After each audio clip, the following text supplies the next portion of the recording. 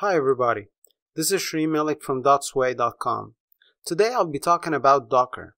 You will find out what is Docker, what is a container, and is it really better than using AWS EC2 snapshots or VirtualBox images? I will also show you how to create one, how to attach it, and how to delete it, and some other basic commands. All this gonna be in the next 10 minutes video.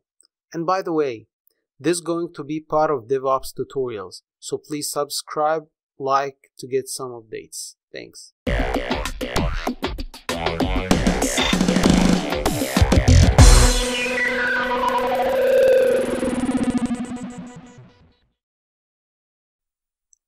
So what is Docker? Docker is one of the best containers platform providers in the market these days. In case you don't know what a container is, in a development or testing environment where a team wants to test or use different operating systems or different configuration, virtualization was the best answer at that time. Containers now provide a fast and lightweight solution.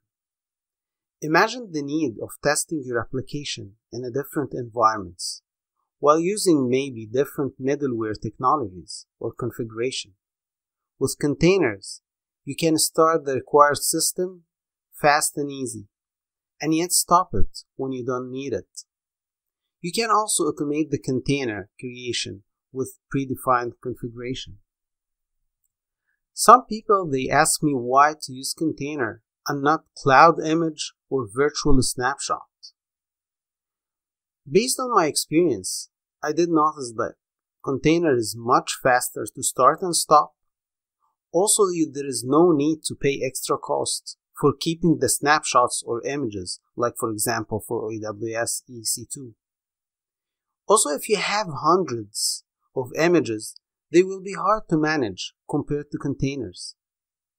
And whenever you make changes to the environment, you can track it with Docker, while you cannot do that with the snapshots.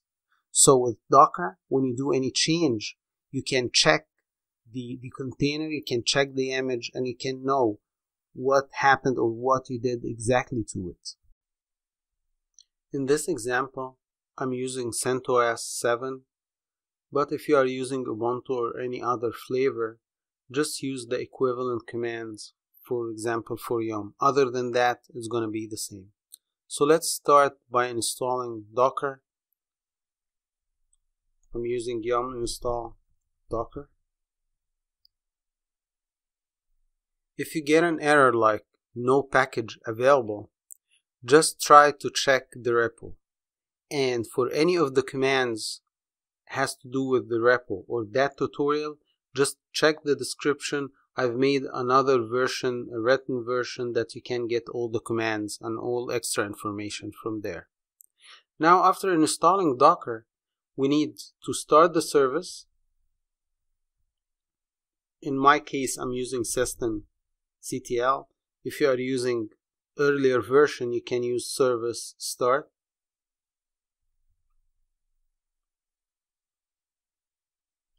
And then I'm going to check the status of the service to be sure that it's running. Okay, now Docker is running. We can test also Docker by using basic commands like docker version and also you can check the docker info which gonna give you information about the total memory the storage the available storage that you have and a lot more. Now let's start by adding a user to the docker group. So you can after that stop using the root user and use that user for docker. So in my case i'm gonna add the EC2 user to the Docker group.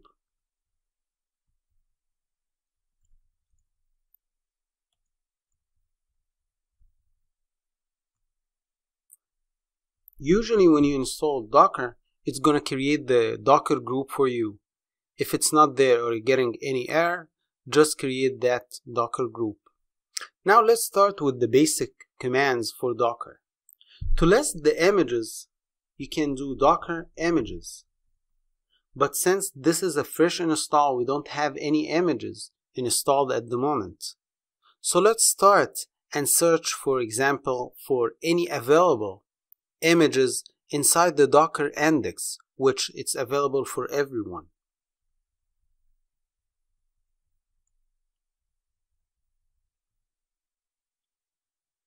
Now we are getting a full list of all the available Ubuntu images inside the Docker index. You can also filter the search results by adding any of the filters that way. So one of the filters which I really like is searching only for the official images. So I'm now gonna search for CentOS, only the official ones.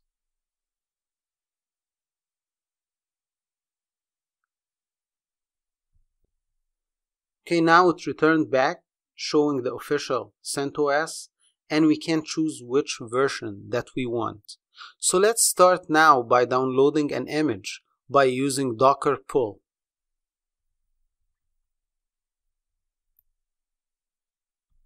And then I'm going to put CentOS and double dots and then I'm going to put the version I'm looking for.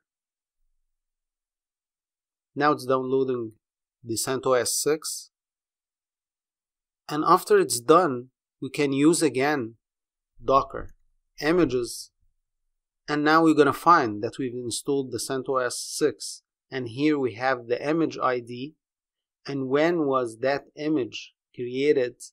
And the size of the image which was taken from our system at the moment. Now let us create our first container. To create a container, use docker run and then use minus i and minus t for the terminal and then we're going to add the image that we just installed. Now it's ready and we did run it and now we are inside that image. Actually, we are not using CentOS 7 anymore. If you check for the release that we have here at that system, it's going to be 6.9.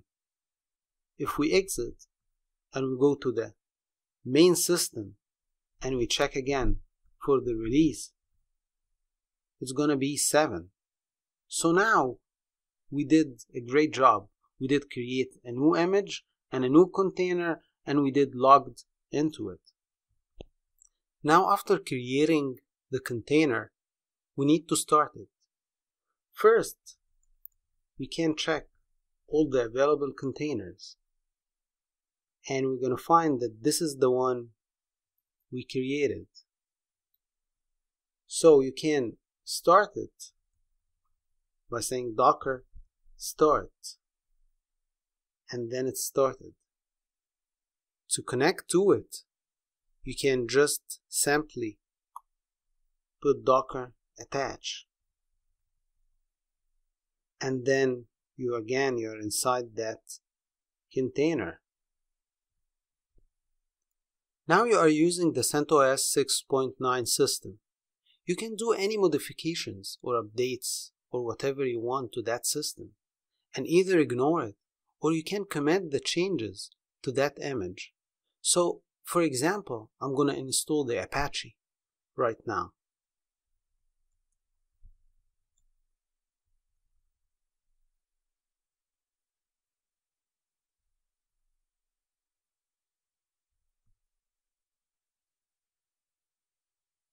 I'm gonna pause it and get back when it's done.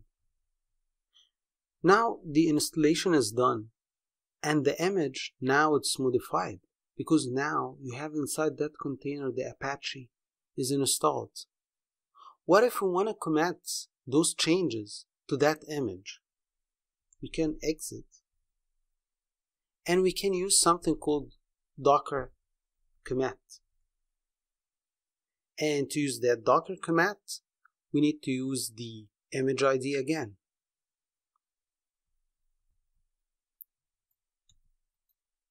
And after the putting the ID, you can name it or you can tag it with whatever tags you want to call it. So for example, I'm going to call that image after the changes dots way.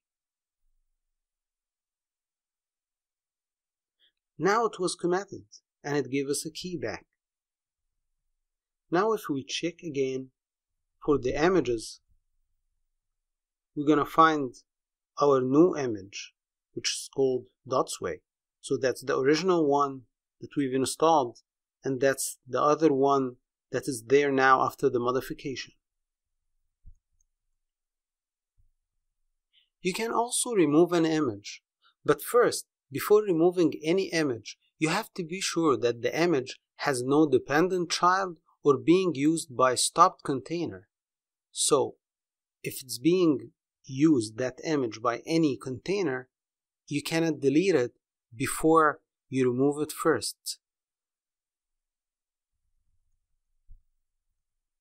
So now we have all the containers and we can use docker RMI with whatever ID to delete whatever we want. Also, you can use docker stop to stop all the images at once and then delete them all over. Let's try this now. I'm gonna stop all of them by using docker stop and dollar sign checking all the containers that we have and doing a query and then I'm stopping all of them. So now I've stopped all of them at once. Now I can remove all of them, not the images, but everything. After stopping all the ones that we did run, we can check again the images and they are there and now we can safely remove them.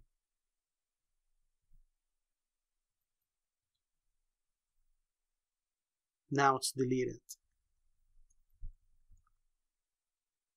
Now we have only the original ones. That's all for that today, guys. We got all the basics for the Docker. And please share and like our page and subscribe to the YouTube. And in the next tutorial, we're going to have some advanced features for it. Thank you so much.